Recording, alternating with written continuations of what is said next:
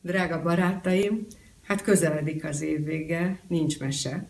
Ez azt is jelenti, hogy először és nagyon hamarosan itt vannak a karácsonyi ünnepek, amelyhez minnyájunknak nagyon sok békét, boldogságot, szeretetet, szép ünnepet kívánok. Sajnos úgy tűnik, hogy fehér karácsonyunk nem lesz, úgyhogy havat nem kívánhatok, így azt nem is teszem.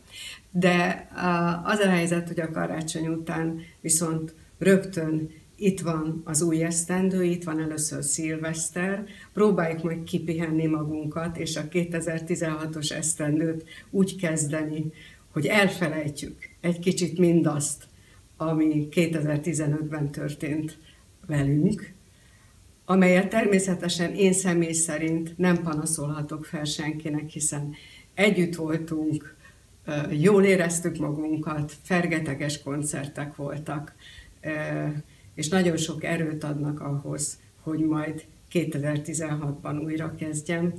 De hát általában azért ezekről az időkről nyugodtan elmondható az, hogy lehetnének egy kicsit könnyebbek. Szóval én azt kívánom, hogy 2016 legyen könnyebb, legyen vidámabb, és főleg legyen békésebb.